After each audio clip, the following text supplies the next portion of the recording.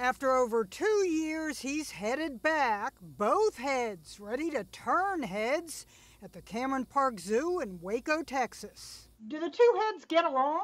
They almost ignore each other. Meet Pancho and Lefty, named after the country western song. Pancho needs your prayers, it's true, but save a few for Lefty too.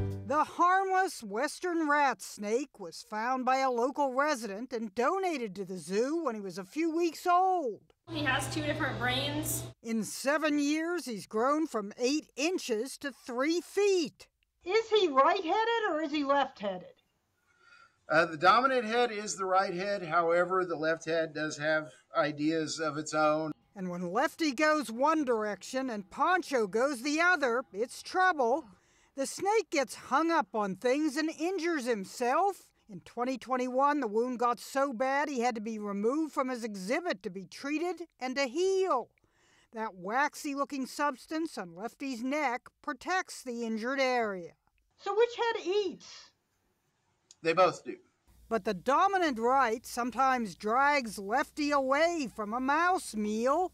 The right head gets more to eat, though it all ends up in the same stomach.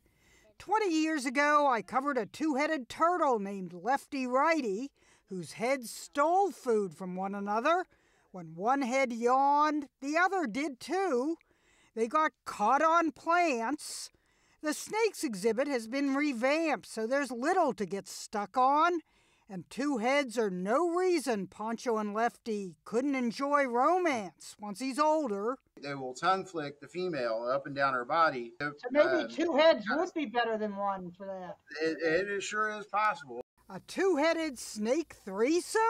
It's enough to leave your head spinning. Jeanne Moos, CNN, New York.